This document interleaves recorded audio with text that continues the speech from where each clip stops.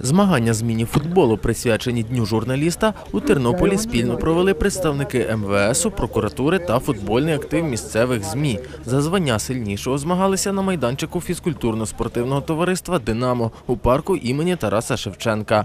Грали по грі команда з командою за коловою системою. І тут, попри те, що футбольне свято організовували саме для журналістів, їм довелося не солодко. Команда міліції обіграла представників ЗМІ з розгромним рахунком, як то кажуть, без шансів. Відчутно сильнішими за кореспондентів виявилася і команда прокуратури. В принципі, ми бачили, що в нас ще є над чим працювати, тому і не випадково ми сьогодні поступилися сильнішим командам. Команди досить серйозні, скажімо так, на відміну від можливо нашої, де ми в принципі, практично рідко коли серйозно граємо. Тут і футболісти, і динамівці, які входять в їхній спортклуб, постійно тренуються, але тим не менше ми намагаємося якось з ними бадатися, як то кажуть. Зрештою, журналістам довелося задовільнитися почесним третім місцем. Найкраще зіграли футболісти Міністерства внутрішніх справ, які виграли поєдинки проти обох суперників та завоювали головну нагороду. Команда прокуратури теж гідно відіграла, хоч і поступилася МВС. Перемога над кореспондентом забезпечила прокурорам друге місце. Я думаю, що сьогодні